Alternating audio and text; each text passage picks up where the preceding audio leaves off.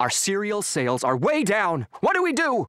I've got four words for you sugar, internet, viral, video, and some punctuation! Exclamation point! Oh, chocolate grain. Bits of corn, marshmallows, other stuff, chocolate grain. Five times more sugar than Choco Puffs, chocolate grain. Tell your parents it's what they should buy, chocolate grain. So much sugar you'll get crazy high, chocolate grain. If you have diabetes, stay away, chocolate grain. There's something that our lawyers made us say, chocolate grain. The amount of sugar will drive you insane, chocolate grain. 100% sugar, zero grain.